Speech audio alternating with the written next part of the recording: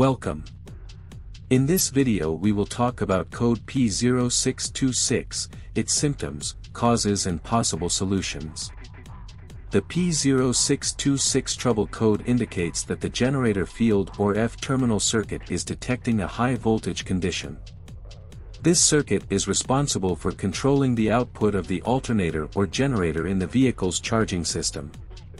Code symptoms P0626 1. Check engine light, CL, illuminated on the dashboard.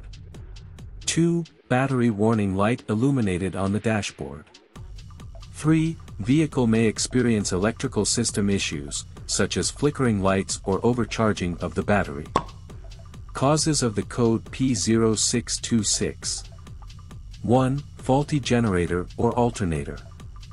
2. Loose, damaged, or corroded wiring and connectors in the generator field or F-terminal circuit. 3. Faulty generator field or F-terminal circuit relay. 4. Defective battery. 5. Faulty voltage regulator. Code Solutions P0626 1. Inspect the wiring and connectors associated with the generator field or F-terminal circuit for any signs of damage, corrosion, or looseness. Repair or replace wiring and connectors as needed. 2. Test the generator or alternator to ensure it is functioning properly. Replace if necessary. 3. Test the generator field or F-terminal circuit relay for proper operation. Replace the relay if it is faulty. 4. Check the battery for proper voltage and condition. Replace if needed.